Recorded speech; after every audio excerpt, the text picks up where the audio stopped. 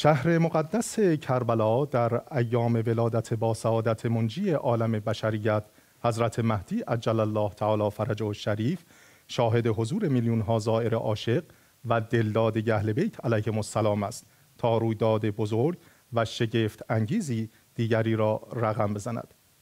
با هم گزارش فاطمه موسوی را ببینیم.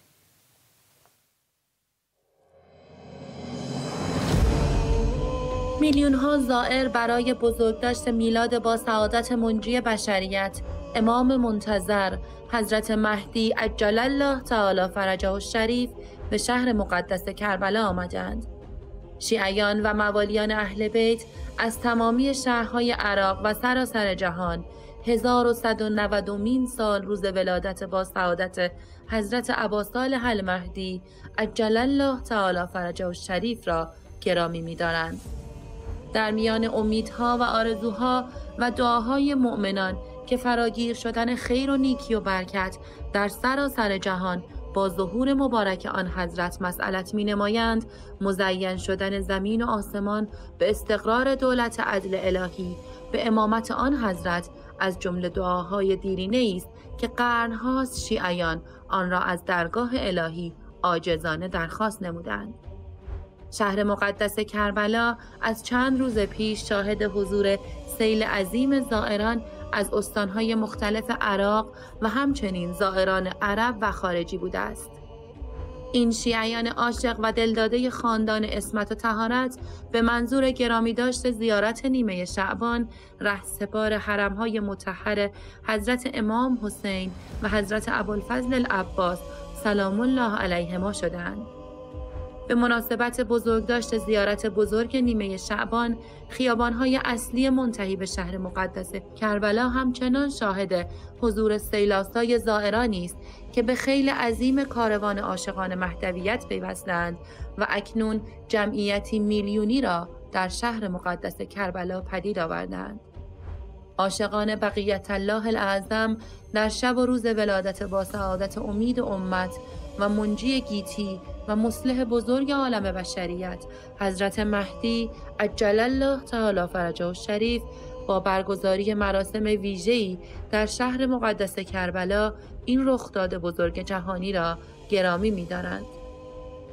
تعدادی از زائران شرکت کننده در این رویداد عظیم انسانی و معنوی در گفتگوهای جداگانه‌ای با خبرگزاری اخبار شیعه از فرارسیدن این مناسبت فرخنده و توفیق حضور در شهر مقدس کربلا ابراز خورسندی کردند. آنها در این گفتگوها تأکید کردند که با صبر و شکیبایی فراوان دل به ظهور حضرت مهدی و قیام بزرگ او خوش کردند و منتظرند تا آن امام منتقم زمین را پر از عدل و داد کند همانگونه که پر از ظلم و جور شده است.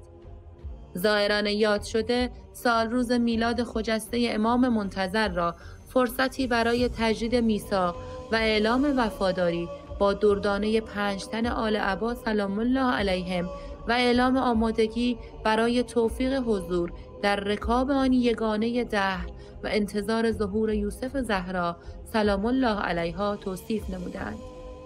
محبان و موالیان شرکت کننده در این رویداد تاریخی و کم نظیر با بیان اینکه با ظهور امام زمان عدل الهی که همه اهل عالم منتظر آن بودند محقق می شود خاطر نشان کردند تجلیل شایسته از این مناسبت در شهر مقدس کربلا دارای معنا و مفهوم بزرگی است.